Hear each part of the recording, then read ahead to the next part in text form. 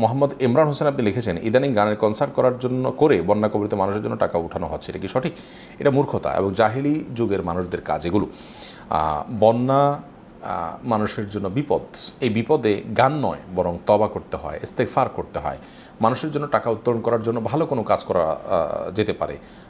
গানের যে কনসার্ট এটা তো একটা ভোগ, এটা তো একটা বিলাসের ব্যাপার, এটা তো একটা মানে হারাম কাজের ব্যাপার। তো এই হারাম কাজ করে সেখান থেকে আপনি টাকা তুলবেন ফুর্তি করে সেখান থেকে টাকা তুলে বিপদগ্রস্ত মানুষের পাশে দাঁড়াবেন। বিষয়টা একরকম হাস্যকর।